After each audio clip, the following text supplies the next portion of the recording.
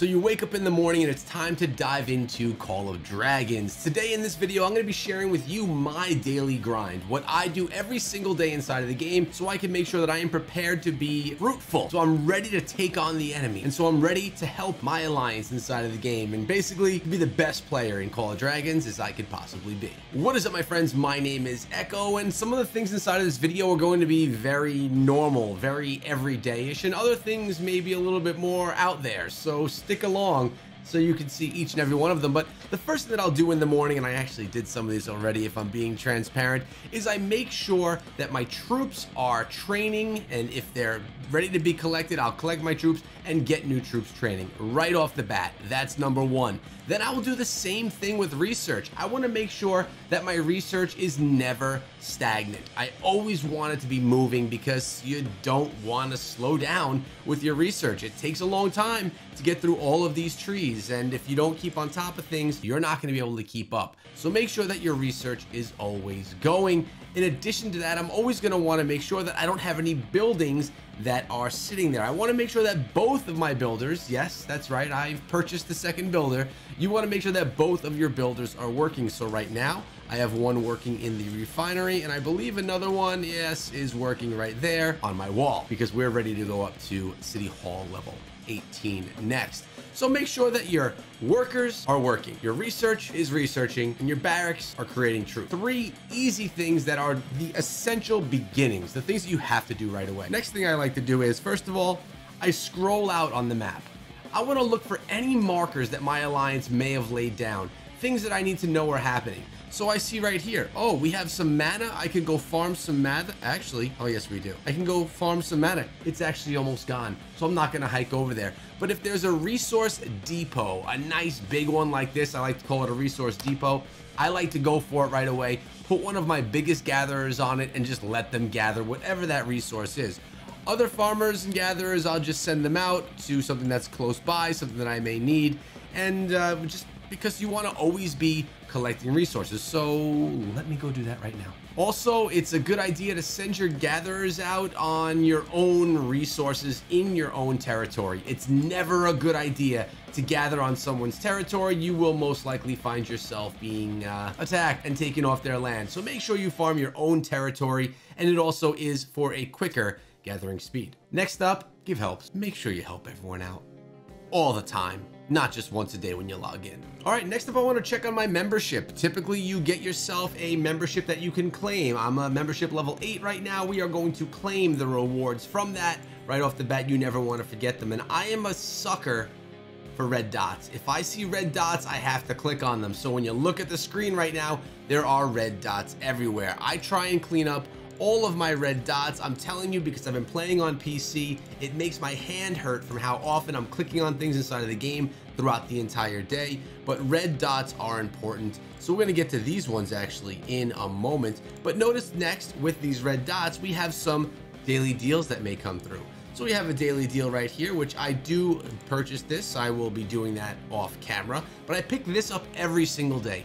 $2.99 is gonna get me a whole bunch of gems it's helpful and it helps with my gem reserves. It's only three bucks a day. My monthly packs I also am going to collect because I purchase these monthly and I collect them daily. Keeps you logging in and gets those rewards, those sweet and juicy rewards every single day. Now, when I come down here to the bottom, I will notice that when you come to your alliance tab here. First of all, territory, always claim your resources because those are absolutely free for you, but gifts man, at least in my alliance, there are a ton of gifts. What I, I can't even count the number that I have right here right now. So we are just going to click like crazy and get all of these. So pardon me while I collect all of my gifts.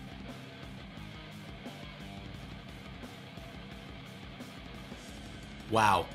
I would say that was about 150 gifts. Now you have to always remember the golden chests can give, can give you some really great rewards. Make sure you don't miss out on them. Then come on over here, claim all these other things that came through, and of course your big chest if it's all ready to go. Lots of rewards to claim inside of Call of Dragons. Also make sure you donate to technology for your alliance. It's going to help your alliance, it's going to help you, and it's just being a good alliance mates. And then when you notice helps, you're going to just drop a help again. These are all very surface things to do, very easy things that you just you log in and they're kind of your morning grind. Notice also here we have some chests to open. These are the free ones that you could open once a day. You get five, actually you get five of the silvers and you get one free gold chest or golden key every single day. And of course, my luck continues here in the channel. This channel is becoming known as one of the worst luck for opening chests and spinning wheels in all of Call of Dragons. Now, I'm saving, actually, I'm saving my golden chests for an event when you can get rewarded for opening up golden chests. I'll save them. We're sitting on 45 right now, which I am quite happy with. But now we want to see what events, what's going on inside of the game today. Looks like there's a Behemoth Hunter event going on for the Giant. Lucky Spin again. Spent 30,000 gems on this thing and I only got her to, uh, what was it? Kinnara up to 2111.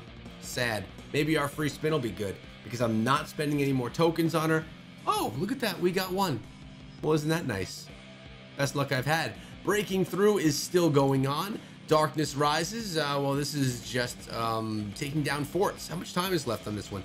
We got a day. I only got to get two more forts taken down. That'll be good, and I'll be getting the rewards. So you, these are great ways to get free rewards inside of the game. Just be up to date and know what's happening. Know what events are going on, so it'll kind of direct you in the direction of what activities you should be participating in inside of the game for that day to get the enhanced rewards. This is another, this has two more days left on it. Easy stuff. Gather ore, wood, gold, and gather total resources. That'll be easy. Now we have the strongest lord.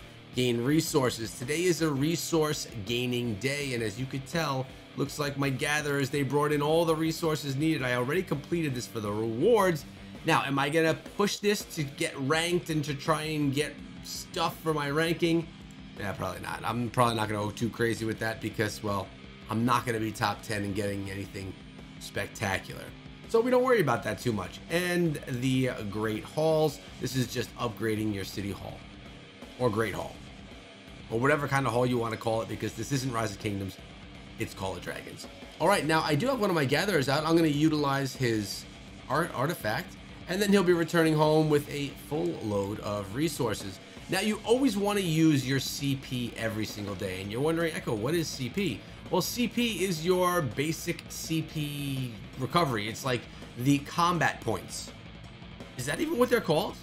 I think it may be called combat points. Well, would you look at that? You want to use your CP. As you can see, I've been pretty in a bit of a CP drought, so I'm still replenishing my CP. But um, if you're full, you always want to use some. You don't want to let that waste. You want to use it let it refresh itself so that you're always getting rewards for going after Darklings or doing any other battle type events inside of the game. Now, it's always a good idea to check in on your Dragon Trail as well. This is something I will also sometimes neglect. Also, remember, you do get one free one as well. Make sure you, you claim your free one per day. It's going to give you some extra rewards, but make sure you try to progress a little bit on your Dragon Trail challenge and um, I'm gonna do one right now. Looks like we have a fair fight. Let's just see if we could bring this one in and pull in a win on the Dragon Trail for you guys. The battle has begun. We're going pretty basic right here, all attacking the front, and then we can change things up as we go. Um, I don't know. This is actually the first time I'm ever doing this and having a fourth march available. So we've unlocked that, I think, as we pass through level 50. And I'm to just try and drop as much damage on these guys as I can. We do have the poison bomb, which we're to use right here. Boom. We have some health, which I'm going to drop on everyone right here. Boom. And that's all. Because my other ones don't have things that I could actually use right now. Um, I also am really focusing on just getting one star at least. I don't need to go ahead and get all four or all three. I just want to at least grab one. We're going to go take him down. I'm actually making mistakes right here. Gordo's about to go down. No, Gordo, don't go down. Is he going to? Oh, I think so. He survived, actually. Would you look at that? Now we have to go take down one more. We will complete this, which will be fantastic. We are down to two stars, though. It's okay. Gordo, we lost him. We lost him in battle. But you want to progress this because it's going to give you rewards and it's going to allow you to upgrade something that I didn't mention, which I'll mention in just a moment. But let's see if we can get in this victory first. Wow, it's actually really low. We are we're struggling hardcore right now. Oh no. Wow, I did not expect this to be as tight as this is right here. We won. It was a difficult one, but we won. I also used no mechanics at all. I literally just attacked. So we get our loot. Remember, these replenish your loot every single day, and you're going to basically spend those things on your enact right here, your notice board, and you can kind of upgrade this stuff along the way. And we're actually doing a nice job trying to get over here to military expansion. Always remember to ask for your alliance help as well as you work on your policies or any upgrades that you can do inside of the game. I also come over to the Goblin Merchant and I typically buy everything that gives me resources for less resources. So here I'm getting a 20% buff or negative 20% on the exchange. So I'm, I'm, making out on the exchange. So I'm going to buy that. I never buy anything with gems and I don't suggest you should either. But here I'm going to save 20%, save 20%. Such a deal. You know we got to grab it and then we get out of there. That's basically it for the really easy stuff but you want to really know what's going on with your alliance. And this is the next level stuff inside of Call of Dragons. You want to know what's going on when battles are happening, if you're going to be going after any behemoths inside of the game, if there's a war that's coming, if your alliance mates need help with something, if any structures are being built on the map, you may want to participate, if any flags are being burned on the map, you're going to want to help out because this is not a solo game. Call of Dragons is very much so a game of community. If you're in it for yourself, it's really probably not the right game for you. You're gonna wanna have, you're gonna have to, and you should want to participate with a whole bunch of people on a bigger project than just you upgrading your base. Now, as we look at the map, I told you to look for some of these uh, these markers that are there. Now, notice what I found right here, a research mana stone when you're in a good alliance, like I am, we are in the Blood Moon Alliance, people will target and they'll kind of point out where these good runes are, these good mana stones, we call them here. Research speed plus 7%, yes please. And the cool thing about this game is they, uh, they last for a long time. They last for eight hours versus in other titles that we've played in the past, they could only last for two hours or four hours or less of time. So now, eight hours, I know I'm gonna have that research speed. So whether I'm going to bed or not gonna be able to get to my phone or computer for a while to play, I can get my research going ham. And they do this for all other things as well, like your your research, your training speed, your gathering speed, and your production speed as well. So as you can see, ah, Illusionist is with me here, also grabbing some research mana stone. Very nice. Wise. Wise of them following my tips. That they didn't know that my video came out yet, but still. Now I'm gonna assume that you're newer inside of a kingdom and you're gonna wanna have to clear some fog. It's annoying to have to clear fog. No one like is like, yes, I get to clear fog today. But what I try and do is I try and send out a couple of explorers at least to start out and clean some fog up. I'll let them sit there for an hour. I make sure that I make I, that I keep them in that position. And if I recall, I'll have them go clear out some fog because there are great rewards that you can have from from clearing out the fog. March over there, would you? And those rewards are things that I often hold off on picking up. I, it's just something else that I never get to. And they're right over here. You'll notice that you can come over over here, hit the telescope, and there are things for me to collect. We're gonna go to other, we're gonna visit, and there's things that you get for free because you found these spots in the world. These right here, oh my god. Do you actually try and follow this with your eyes? I did for the first time or two and realized that there's no heckin' way I'm gonna actually keep with it. So I just blind guess, and we get that a lot. Basically 50-50 if you win or lose, but that's okay I'm okay with it. Now, I like that they have this feature where it takes you to the next one, but I wish that this was like an auto feature inside of the game. I wish that I didn't have to click through all of these. It's a time-consuming click sequence that I would prefer to not have to do. There's other things I would rather do. All right, look, blind. Is it done?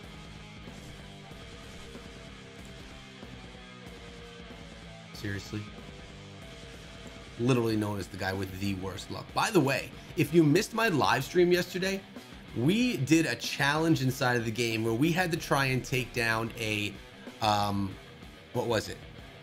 An elite bear, 750,000 health with only level one workhorses and with, um, oh, I forget the commander we were using, the hero we were using.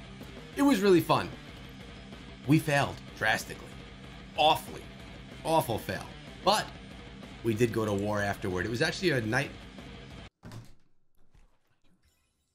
It was actually a nice uh, live stream. You guys should go check it out if you missed it. Also, yesterday I put out a video that was giving you my whole story as to why I quit Rise of Kingdoms for Call of Dragons, which was more like a story of my life. If you want to know a little bit more about my whole professional life. All right, we've gotten defeat, defeat, huge defeat. Let's see if we can do any better this time because this is getting uh, a little pathetic. And then we'll just go back to the village. All right, we're going over here. I swear to God, guys. This is just sad sometimes. I'm trying to get your pity likes. That's what it is. All right, now we'll come back over here. You'll notice there are some rallies going on. So we've got some uh, Dark Ilyana's army. We'll go at you. Can we join this bad boy? Yeah, we're going to join this up. We'll go in there with Gordo. Gordo was actually the hero that we were using in this workhorse challenge. Of course, guys, you're also going to want to always check your mail. See what your alliance has to say. As you can see here, this is a past event, but the event starts in 10 minutes. Send Gordo with workhorses only and be in a YouTube video. That was on my channel. That was a lot of fun. But either way, make sure you check your mail. Really, a lot of what you need to be prepared for is what your alliance is going to need you for. Are they having to protect your land? Are they having to defend themselves against an alliance that's incoming and trying to battle? Make sure that your gatherers are out, which I think I could actually probably send out another one right now if I could find a nice space to put them. But don't put them on someone else's land.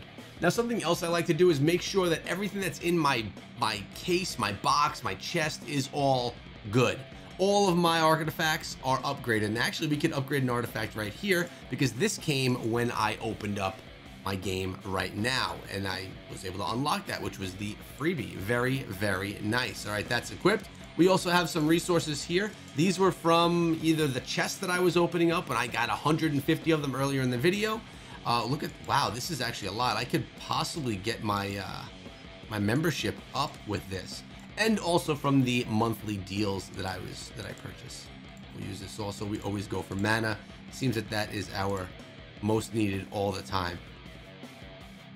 And let's go see actually. Very curious where I stand here we are only 400 and no 4,875 away from the next level of VIP, VIP 9 or honorary membership level 9. These are the essential things that you should be doing every day inside of the game. Keep your gatherers going, keep farming when you have CP, and make sure that you're in the know with your alliance. Make sure that you know what's going on for the events of the day so you don't miss out on opportunities, especially when there's a wheel or an opportunity to get yourself a new hero. It's definitely not something that you want to miss out on. A lot of times they don't return to the game, so you need to get them when the opportunity is there. And also say hi to your alliance mates. It's always good to have fun and just be be cool with people. Guys, I hope you enjoyed this video. I've had a lot of people that are brand new to the game, obviously, because the game is very new, asking about a lot of these beginner tips. How do you do these things? What do you do throughout the day? Which is why a lot of the content lately has been for people that are just getting into the game. Obviously, more high level stuff is incoming in the very near future. I'm looking forward to that as well as I dive deeper into Call of Dragons. But for now, hope this one helped you out, guide you through your morning when you wake up and you're laying in bed and you don't even get out of bed before you start playing this game. I know you do that too. If you found this video useful, valuable, or entertaining in any way, consider subscribing so you don't miss out on my live streams later today, if I have any, or my videos that come out tomorrow. I'll see you guys then.